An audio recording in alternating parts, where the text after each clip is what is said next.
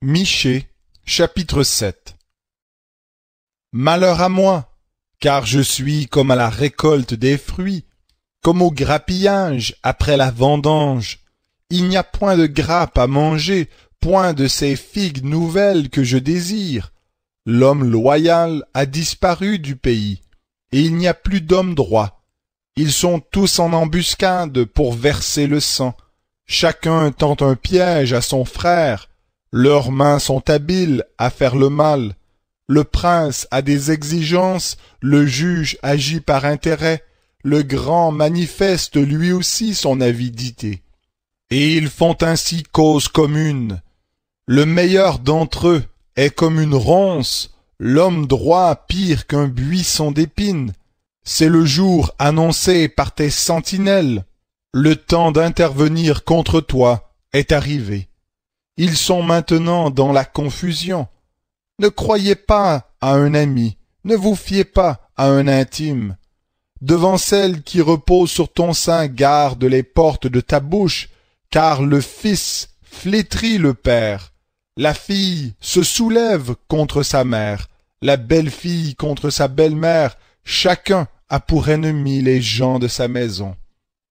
Pour moi, je regarderai vers l'Éternel, je mettrai mon espérance dans le Dieu de mon salut. Mon Dieu m'exaucera. Ne te réjouis pas à mon sujet, mon ennemi, car si je tombe, je me relève, si je suis assise dans les ténèbres, l'Éternel est ma lumière. Je supporterai la colère de l'Éternel, puisque j'ai péché contre lui, jusqu'à ce qu'il défende ma cause et me fasse droit. Il me fera sortir à la lumière, et je contemplerai sa justice. Mon ennemi le verra et sera couverte de honte, elle qui me disait Où est l'Éternel ton Dieu? Mes regards s'arrêteront sur elle. Maintenant elle est foulée aux pieds, comme la boue des rues. Le jour où l'on rebâtira tes murs, ce jour-là tes limites seront reculées. En ce jour on viendra vers toi de la Syrie et des villes d'Égypte, de l'Égypte jusqu'au fleuve, d'une mer à l'autre, et d'une montagne à l'autre. Le pays sera dévasté à cause de ses habitants, à cause du fruit de leurs œuvres.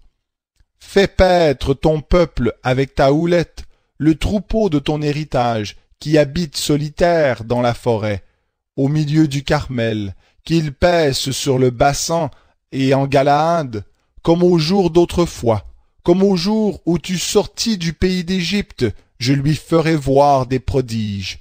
Les nations le verront et seront confuses. Malgré toute leur puissance, elles mettront la main sur la bouche. Leurs oreilles seront assourdies.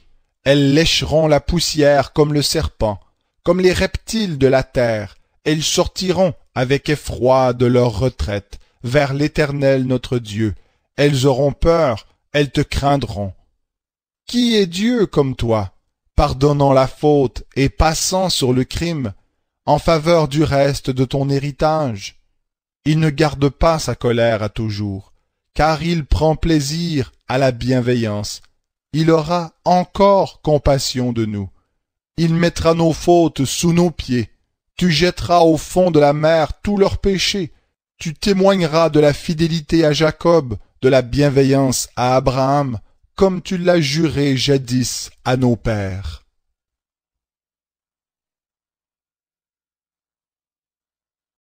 Naoum, chapitre 1 Menace sur Ninive, livre de la vision de Naoum, l'Elcochite.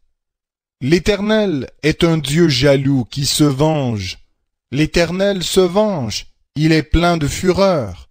L'Éternel se venge de ses adversaires, il garde sa rigueur envers ses ennemis. L'Éternel est lent à la colère, il est grand par sa force. Il ne laisse certes pas impuni.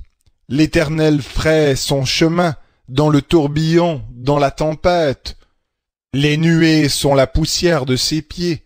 Il menace la mer et la dessèche. Il fait tarir tous les fleuves le basan et le carmel dépérissent, la fleur du Liban dépérit, il fait trembler les montagnes, et les collines vacillent, La terre se soulève devant sa face, le monde et tous ses habitants. Qui résistera devant son indignation? Qui tiendra contre son ardente colère? Sa fureur se répand comme le feu, il brise les rochers, l'Éternel est bon, il est un abri au jour de la détresse. Il prend soin de ceux qui se réfugient auprès de lui, mais avec des flots qui débordent, il détruira totalement cet endroit, et il poursuivra ses ennemis jusque dans les ténèbres. Que méditez-vous contre l'Éternel?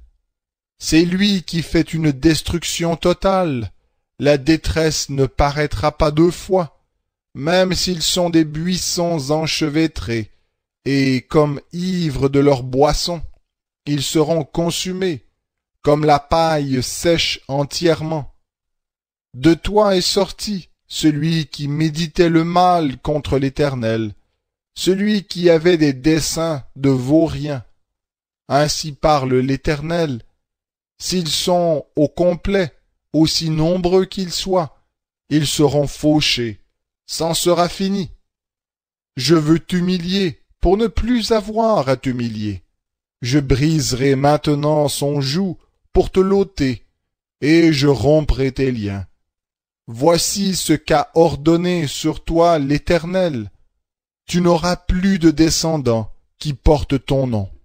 Je retrancherai de la maison de ton Dieu statue et image de métal fondu. Je préparerai ta tombe, car tu ne vaux pas grand-chose. Naoum chapitre 2 Voici sur les montagnes les pieds de celui qui annonce la bonne nouvelle de paix. Célèbre tes fêtes, Judas, accomplis tes vœux, car le vaurien ne passera plus au milieu de toi. Il est entièrement retranché. Un destructeur monte contre toi. Garde la forteresse, veille sur la route, fortifie tes reins, prends courage de toute ta force, car l'Éternel rétablit la fierté de Jacob, comme la fierté d'Israël, parce que les pillards les ont pillés, et ont détruit leurs sarments. Les boucliers de ces héros sont rougis, les hommes vaillants sont vêtus de cramoisis, avec le fer qui étincelle apparaissent les chars, au jour qu'il a fixé pour la bataille, et les lances sont agitées. Les chars roulent follement dans les rues. Ils se précipitent sur les places. À les voir, on dirait des flambeaux. Ils accourent comme des éclairs. Ils bat le rappel de ces vaillants hommes, mais ils trébuchent dans leur marche. On se hâte vers la muraille de la ville. La défense est établie les portes des fleuves sont ouvertes, et le palais s'écroule. C'en est fait. Elle est mise à nu, elle est emmenée. Ses serviteurs geignent avec des voix de colombes, en se frappant la poitrine. Ninive était jadis comme un réservoir des eaux. En voilà qui fuit. Arrêtez, arrêtez, mais nul ne se retourne. Pillez l'argent, pillez l'or, il y a des trésors sans fin, des richesses en objets de valeur de toute espèce, carnage, saccage et ravage. Les cœurs défaillent, les genoux chancellent, tous les reins souffrent, tous les visages pâlissent.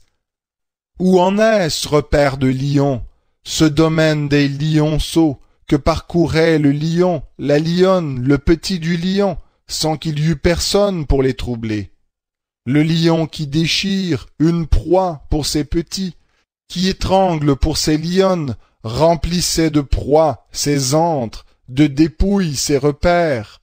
Me voici contre toi, oracle de l'Éternel des armées. Je réduirai ses chars en fumée, l'épée dévorera je retrancherai ta proie du pays, et l'on n'entendra plus la voix de tes messagers.